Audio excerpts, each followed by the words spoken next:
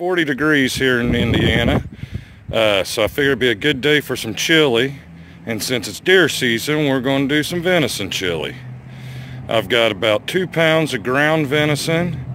I've got about three pounds of deer roast. Uh, I've got my seasoning starter packs, two of those.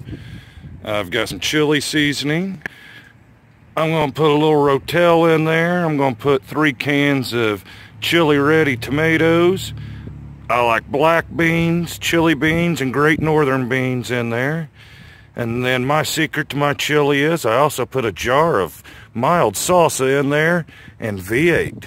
Let me get everything heated up over here. I'm going to be cooking it in my nine quart lodge and I'll be right back with you. Alright, I got everything chopped up and stuff and it's time to start browning a little bit of the meat. I'm going to start out with the ground beef, or the ground venison I mean.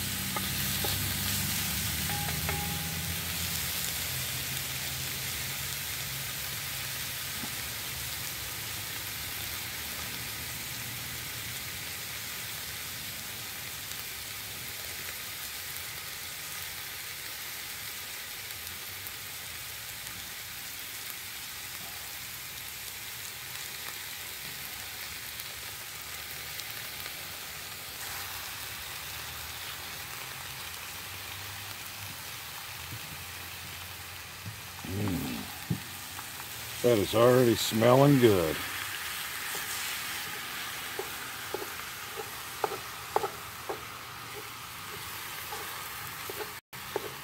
Try to get all this broken up real good. Once I get this all browned up, I'll be right back with you. I've got all the uh, ground venison browned up.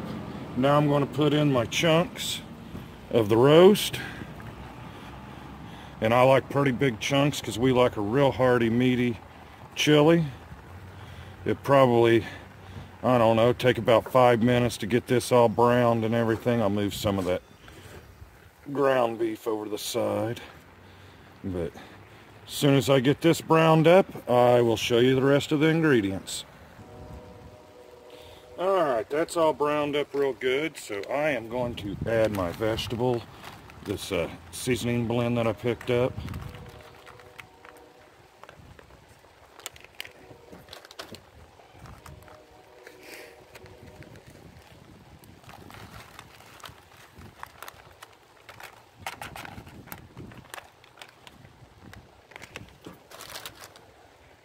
Get that all mixed in good.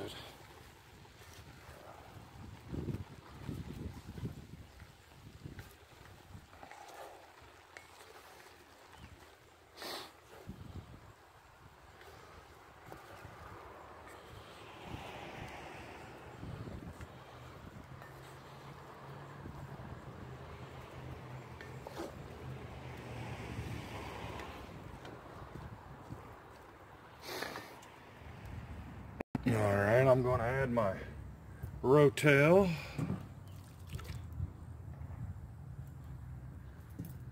And that's really about the only thing with any heat other than my chili powder. Because my boy and my wife, they just don't like it super spicy. But we love it hearty with all this meat and everything in it.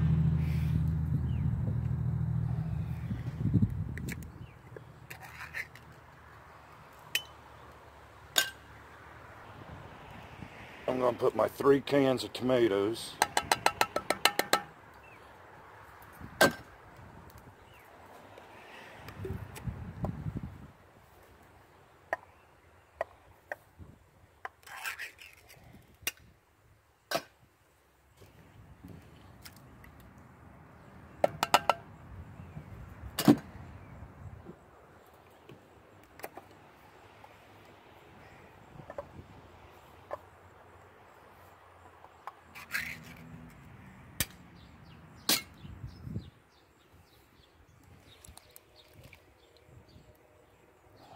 Let me get all that mixed in.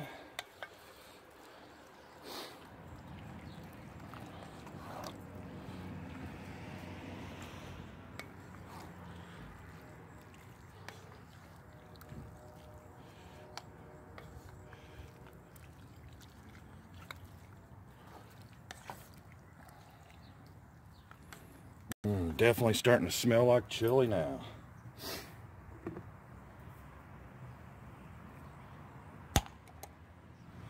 I'm going to put my secret ingredient in now. This big jar of chunky salsa.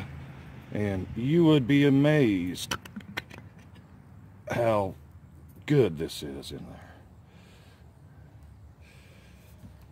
there. And that was mild. And notice I haven't even added any V8 or anything yet. And look at all the juices we already have.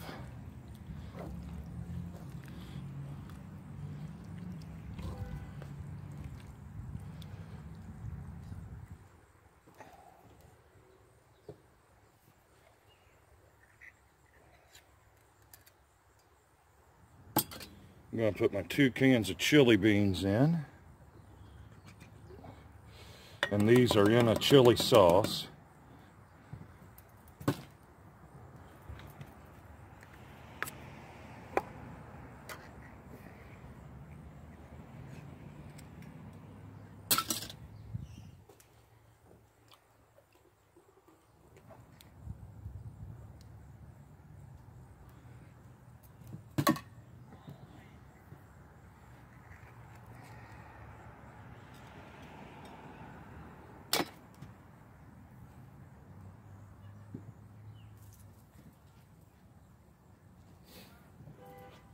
Here's my can of black beans.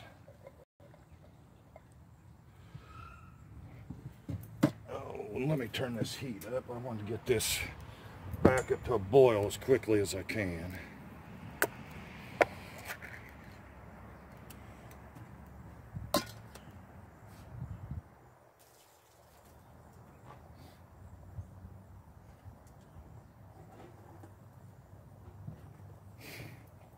And here's my great northern beans.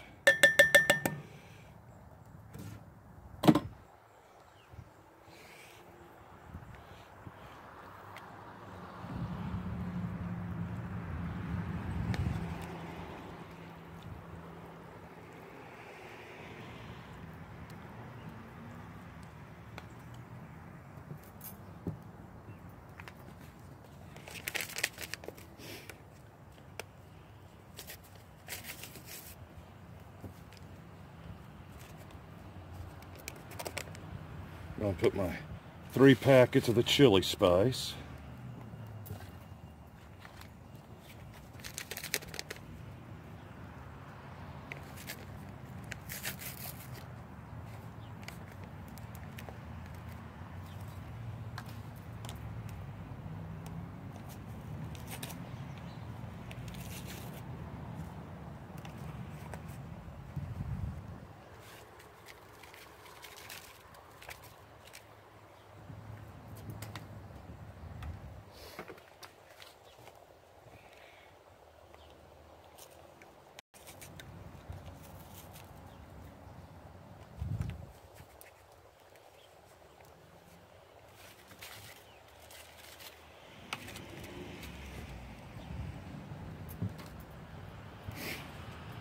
Get everything mixed really, really good. Get the spices everywhere.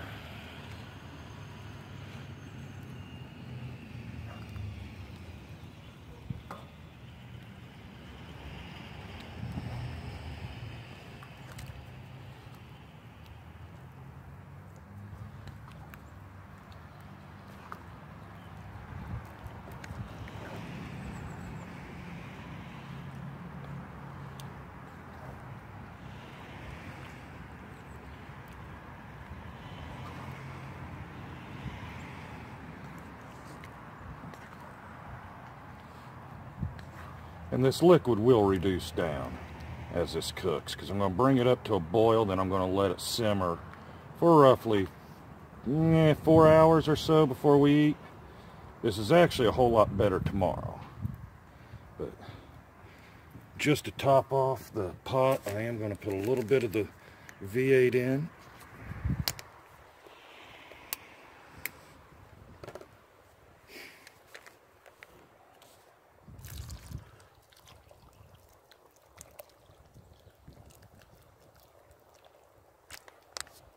Was about a third of that jar.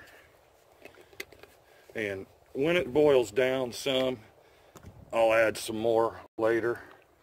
I like keeping a lot of liquid in here so nothing burns on the bottom because I'm a big believer one burnt bean in your chili will ruin the whole pot.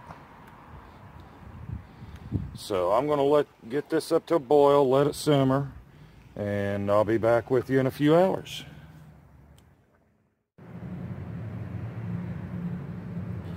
Alright, it's been approximately four hours that this has been on. Let's take a look at it.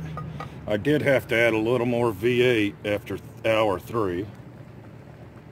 Mm, that does smell very good. She's just simmering away. I think it's ready to take inside and have some dinner. But as you can see, when I started out, I was all the way up to here. That's how much that reduced down. And like I said, I did add roughly a half cup, maybe a cup of V8 after hour three. Um, I just like a lot of liquid mainly because it helps keep it from burning. Well, I'm going to go dish me up a bowl and have dinner. Y'all have a great day.